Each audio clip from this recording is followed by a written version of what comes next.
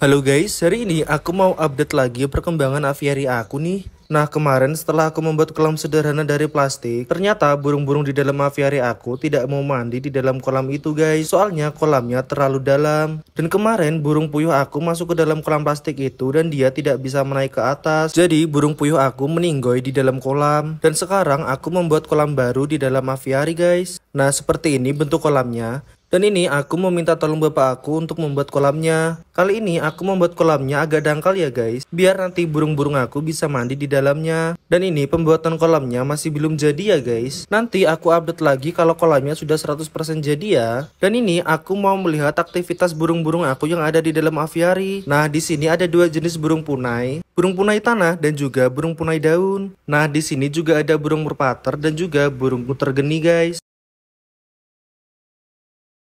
Dan di bawah sini juga ada burung diamond dove dan juga burung gemak.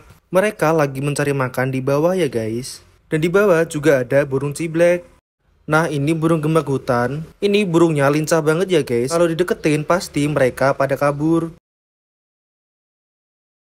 Nah kali ini aku mau update lagi anakan burung merpater. Nah ini anakan burung merpater aku yang pertama ya guys. Dia sekarang sudah besar dan aku taruh di dalam aviary. Dan di sini ada anakan burung merpati aku yang kedua. Dan ini kira-kira usianya sekitar satu mingguan ya guys.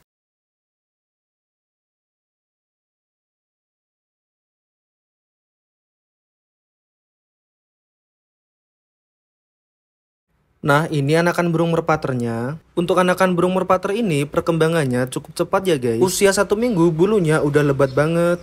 BTW, aku udah pesenin ring kaki untuk burung merpati ini. Tapi udah seminggu ini, ring burungnya belum dateng guys. Takutnya nanti pas dateng ringnya udah nggak muat. Lanjut, aku mau update lagi perkembangan pasangan burung puter yang kemarin telurnya tidak menetas guys. Nah ini satu telur yang kemarin tidak menetas dan ini telurnya kopior ya guys. Dan ini pasangan burung puter kelihatannya sudah mulai menyusun sarang lagi. Tapi lucunya ini menyusun sarangnya di dalam tempat makannya guys. Padahal di sini aku sudah menyiapkan media sarang yang baru untuk mereka bertelur lagi guys. Nah ini untuk bejantan burung puternya sudah mendekat ke sarangnya ya. Kelihatannya dia sedang melihat-lihat sarang barunya.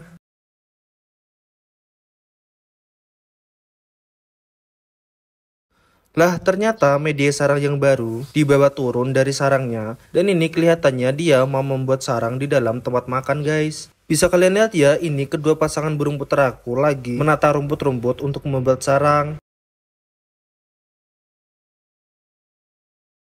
Nah, tandanya kalau burung puter itu sudah birahi, bulu sayapnya itu digerak-gerakin guys.